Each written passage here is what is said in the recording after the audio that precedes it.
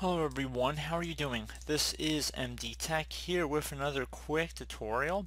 In today's tutorial I'm going to show you guys how to prepare your computer for donation on your Windows 10 laptop, tablet, device, computer, whatever you want to call it. So I have made other tutorials in the past of this nature and I have made a video about actually using a utility that actually goes into BIOS and cleans everything out However, I feel like I would rather just kind of do one using the built-in Windows utilities just to kind of do a clean install of the Windows operating system so not overly, you know, obsessive about it, which you can go and do extra steps, you know, as precautions, but generally speaking, what I'm going to show in this video should be generally sufficient for most people. And to be honest if I were doing my own computer I'd be comfortable doing this method as well. So just want to put that out there. People might have difference of opinions but you know that's that's the world I guess.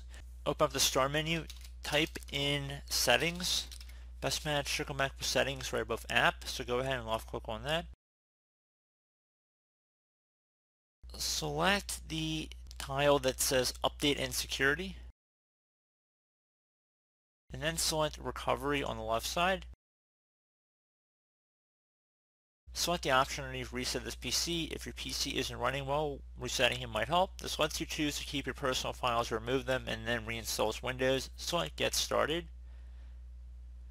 So now you have a couple choices here, so keep my files or remove everything. So we're going to select remove everything here. So you want to select change settings versus data erase, just remove your files it's quicker but less secure. We're going to turn that off actually. And then select confirm.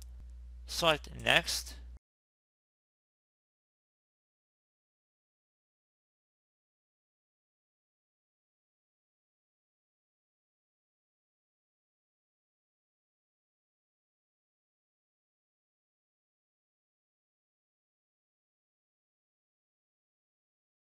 So resetting will remove all the personal files and user accounts on this PC, remove any changes made to settings, and remove all apps and programs. This will take a while and your PC will restart. Select the reset button to begin this process. It will take some time. It's basically going to be reinstalling Windows here. And it's going to be creating a new profile. So just make sure you have everything backed up before you go ahead and select this reset button. So go ahead and select that. Let it restore your computer and then once it's all done it should be available for you know you can go test it out turn on the computer and it should be to your liking. And then if you want to donate to a family friend an acquaintance or whatever you're more than welcome to at that point. And you really shouldn't have to worry too much about somebody getting in your files because like I said in the beginning of the video some people are really you know paranoid about it and it's never enough.